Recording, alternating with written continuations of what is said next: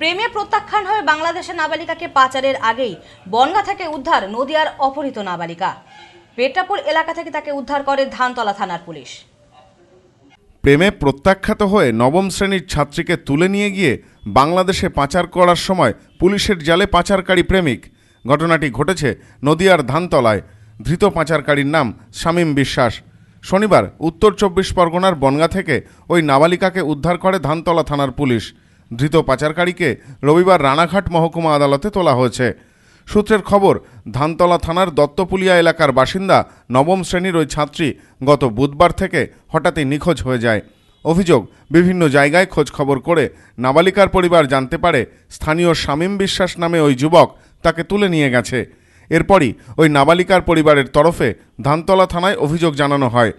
নাবালিকা ছাত্রীর পরিবারের অভিযোগ, বেশ কিছুদিন যাবৎ শামীম বিশ্বাস নামে ওই যুবক প্রেমের প্রস্তাব দিয়ে বিরক্ত করছিল ওই ছাত্রীকে। অভিযোগ, প্রেমের প্রস্তাব মেনে না নেওয়াতেই রাগে তাকে জোর করে তুলে নিয়ে যায় শামীম। নির্দিষ্ট অভিযোগের ভিত্তিতে তদন্ত শুরু করে পুলিশ। মোবাইলের টাওয়ার লোকেট করে পুলিশ জানতে পারে, বনগায় ভারত বাংলাদেশ সীমান্তের কাছে রয়েছে তারা। এরপরই শনিবার অভিযান চালিয়ে ওই ছাত্রীকে উদ্ধার করে পুলিশ।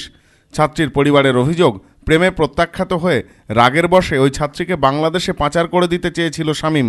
এর পেছনে কোনো নারী পাচার চক্রের হাত আছে কিনা তাও তদন্ত করে দেখছে ধানতলা থানার পুলিশ। বোনকে প্রেমে প্রস্তাব দিয়েছিল ছেলেটা শামীম বিশ্বাস বলে আমার বোন অস্বীকার করে। এর কারণে আমার বোনকে জোর করে তুলে নিয়ে যায়। বনগা বর্ডার এলাকা এলাকায় ওখান থেকে বাংলাদেশ পাচার করার উদ্দেশ্য ছিল ছেলেটার। আচ্ছা। এই বিষয়ে অভিযোগ জানিয়েছি ধানতলা থানাতে। হ্যাঁ। Bureau report news no man's land Dhantala.